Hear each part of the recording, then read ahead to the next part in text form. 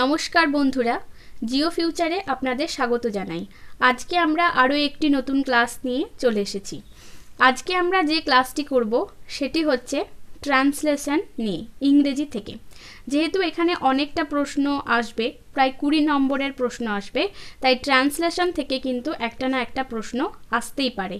তাই আপনারা প্রথম থেকে ভিডিওটি শেষ পর্যন্ত দেখুন, আশা করি আপনাদের কাজে আসবে। তো আলোচনাটা শুরু করা যাক। এখানে বেশ কিছু ট্রান্সলেশন দেওয়া হয়েছে। যেমন, এটা আমার ভাই। দিস ইজ মাই ব্রাদার তারপরে আছে, সে খুব সাহসী মানুষ। He is a brave man পরেরটি রয়েছে, রমেন আম খেতে পছন্দ করে। Ramen likes to eat mango এখানেই বলে রাখি যে আমাদের এই চ্যানেলে কিন্তু আইসিডিএস এর এক্সাম নিয়ে বিভিন্ন বিষয়ে আলোচনা শুরু হয়েছে। আপনারা যদি সেই ভিডিওগুলি না দেখে থাকেন, তাহলে অবশ্যই দেখে নেবেন। ডেসক্রিপশন বক্সে লিংক দেওয়া আছে। সেখানেই যে লাস্ট লিঙ্কটা রয়েছে, আই আইসিডিএস দু হাজার বাইশ, সেখানেই গেলেই সেই লিঙ্কে ক্লিক করলে সমস্ত ভিডিও একসঙ্গে পেয়ে যাবেন। তারপরে আছে রহিম কলকাতায় বাস করে।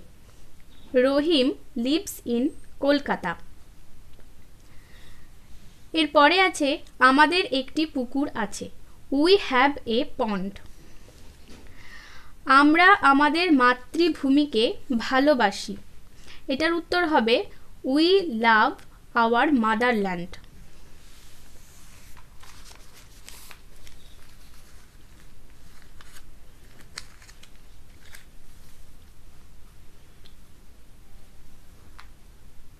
এরপরে যে ট্রান্সলেশনটি আছে, সাঁতার ভালো ব্যায়াম। এর উত্তর হবে to swim is a good exercise Hiya ভালো নাচে। Hiya dances well.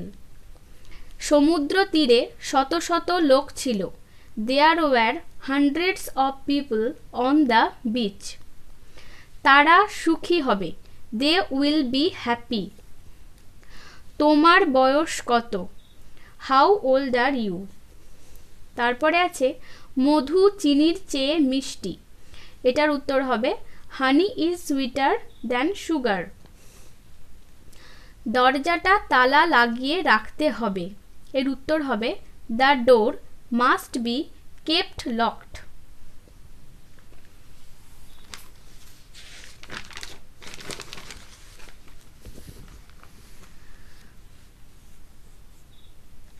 তারপরে আছে, ময়ূর আমাদের জাতীয় পাখি। Peacock is our national bird তুমি আমার ফোনটা ব্যবহার করতে পারো। You can use my phone মিতার একটি পোষা কুকুর আছে। Mita has a pet dog চোর পালাবার পর পুলিশ এসেছিল। The police arrived after the thief had fled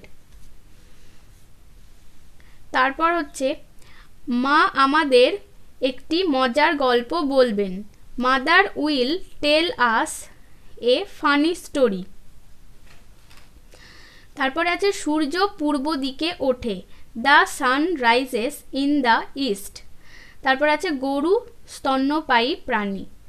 The cow is a mammal তাহলে এই যে ধরনের যে ট্রান্সলেশনগুলি আছে, যেগুলি চিরন্তন সত্য, যে সূর্য পূর্ব দিকে ওঠে the sun rises in the east সূর্য পশ্চিম দিকে অস্ত যায়, আমাদের ন্যাশনাল যে পশু, পাখি এগুলো আছে, এগুলো অবশ্যই আপনারা একটু দেখে যাবেন।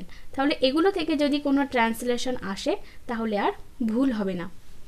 আশা করি এইগুলো ভিডিওটি আপনাদের ভালো লেগেছে এবং এই প্রশ্নগুলি, এই যে ট্রান্সলেশনগুলি, সেগুলো খুব ভালো করে প্র্যাকটিস করুন, অবশ্যই আপনাদের কাজে লাগবে। Thank you.